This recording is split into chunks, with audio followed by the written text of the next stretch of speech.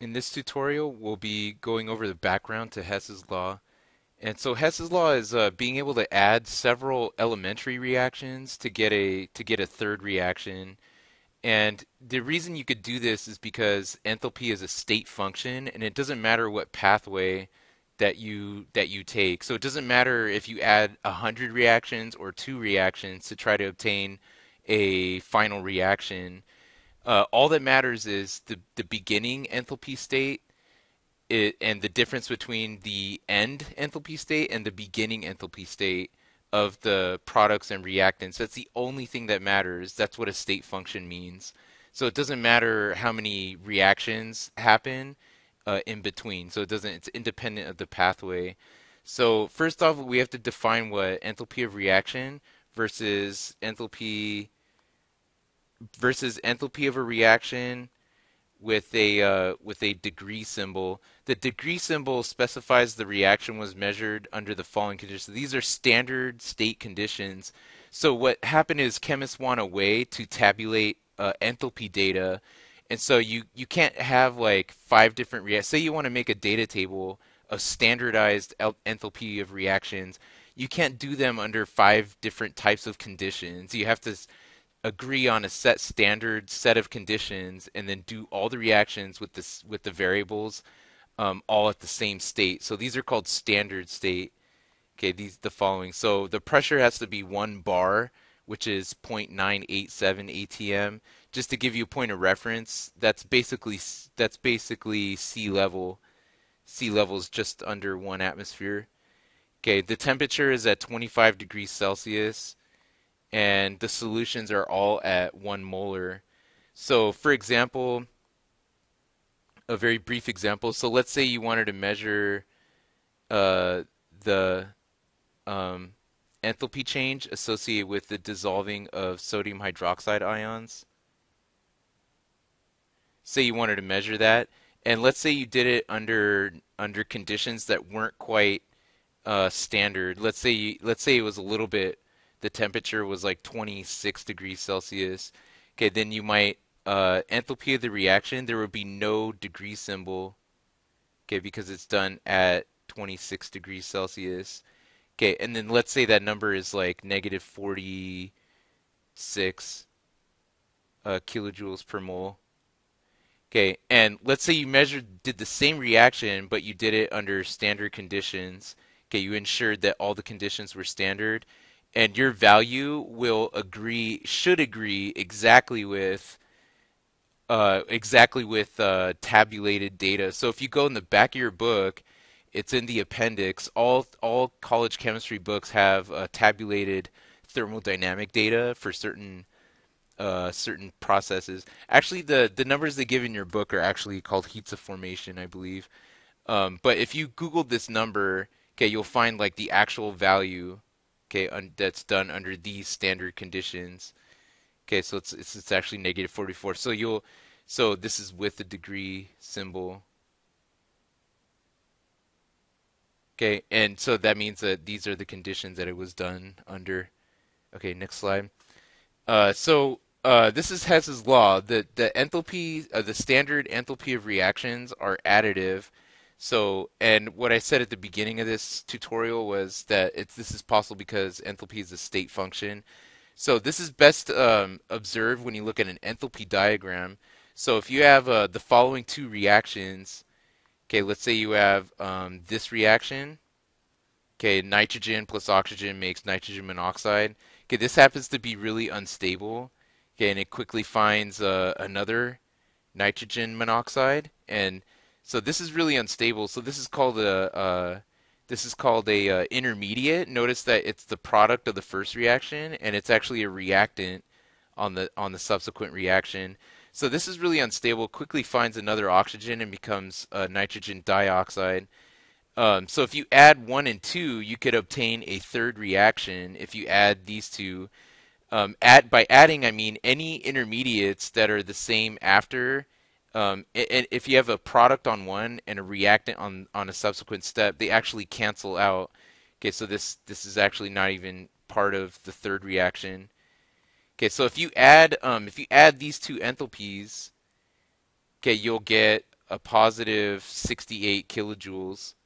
Okay, and and if and that means you can add the actual reactions as well. Okay, and then you'll actually get this reaction. So it's kind of like uh, if you have the N2 plus O2 and it makes two nitrogen monoxides. Okay, this is on the product here, and it's on the reactant on the next step. So you could actually cancel those out. Um, and then if you add up all of this, so if you add up if you add up all of these, then you'll get one nitrogen, and uh, this this uh, should actually say two moles of oxygen here. Okay, and then two moles of NO2. Okay, so if you add up all the reactants, then you get this right here.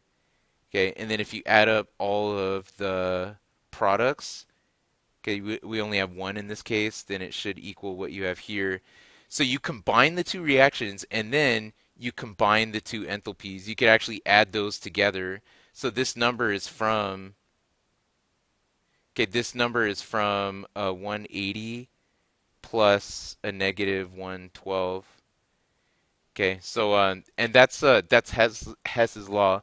The enthalpy of a reaction, of like some like third reaction, we'll just say it's a third reaction, is the sum of um, the enthalpy of the elementary reactions of like 1 plus enthalpy of a second. Okay, and I'll write plus dot dot dot because the, you could you could add up to as many as you want. Okay, that that if they're related. Okay, so I've seen these where there's like six reactions involved, and the enthalpy of the seventh reaction is the sum of all the previous six. So that's how this number is uh, obtained. Okay, and this enthalpy diagram is showing uh, just the enthalpy change for all the processes. So this one is the first reaction, that's this right here.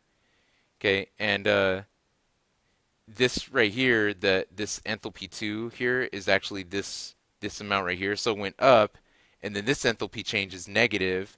Okay, and then the enthalpy change, if you add this and this, you'll get the enthalpy change of this reaction, the third one. And that's Hess's law a couple of key properties in Hess's law. Okay, so next slide. There's a couple key properties for Hess's law. So uh, you can there uh, you can multiply a coefficient times Hess's law. So there's a few things to do to manipulate. These are uh, two properties of Hess's law. So this is for uh, manipulating the um, we'll call them the uh, the uh, elementary reactions to in order to try to obtain a, a third reaction of interest. Okay, so there's a few things you could do to like change the uh, the reactions. You can multiply a coefficient. So for example, Um, for example, let's say you have the following reaction: 2NO2 this is actually the reverse of what I had in the previous slide. Makes 2O2. Okay, and the enthalpy change here is negative 68 kilojoules. Okay, if let's say you had to multiply this by 4 in order to make it match the third reaction, and this is better explained when we look at an example Okay, so if I if I multi I could I can multiply these by four if I need to. When do you need to? It's better when I when I do an example to explain that. So if you multiply each coefficient by four, then you'll get eight here. Uh, four N2s and eight O2s. Okay, this this four also multiplies this right here. So if this happens four times this, then then the heat change should also be 4 times 68, which is uh, 272, negative 272 kilojoules. Okay, and you could also reverse reactions. So reversing a reaction changes the sign of uh, the uh, enthalpy. So if I if I just use the example that I've been using on the last two slides, um, notice I actually did that on this example, actually. So um, this is a positive 68. Okay, and if I just if I just uh, flip this around, so I write this as a reactant, so 2 NO2, and then I show the reactants as products here. So that's what I mean by reversing the reaction. Then the delta H here would you just change the sign for enthalpy, and then you get that. Okay, so in the uh, next tutorial, I'll be doing uh, an example problem, which will be uh, part two for Hess's law.